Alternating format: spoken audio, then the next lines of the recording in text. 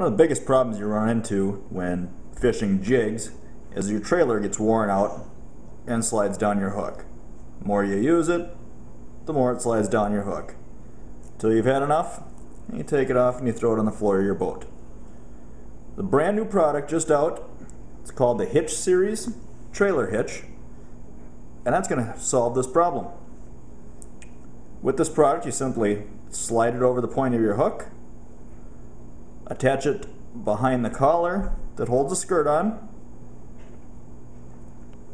put on your favorite trailer, just as you normally would,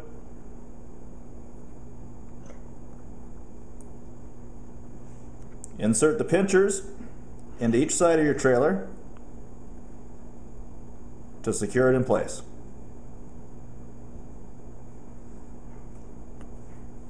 That's certainly a bait you can go out and fish again. Uh, you're going to get a lot more life out of each and every trailer. Trailer hitch will also work on spinner baits or even chatterbait style baits. Pretty much anything that you're going to throw that you're going to want to put a trailer on, the trailer hitch will work. Again, it slides up over the collar that holds the skirt on and pinches into the side of your favorite trailer that you're going to use. Also works great on the buzzing frogs. Uh, everybody knows that these are uh, awesome for catching fish. Biggest problem you run into is the little corkscrew keeper pulls out of the nose too easy. So you're left with uh, a lot of baits that are no good laying on the floor of your boat. By attaching the trailer hook, the trailer hitch through the eye of the hook, you can get a lot more life out of these baits. You see that's uh, already pulled the corkscrew out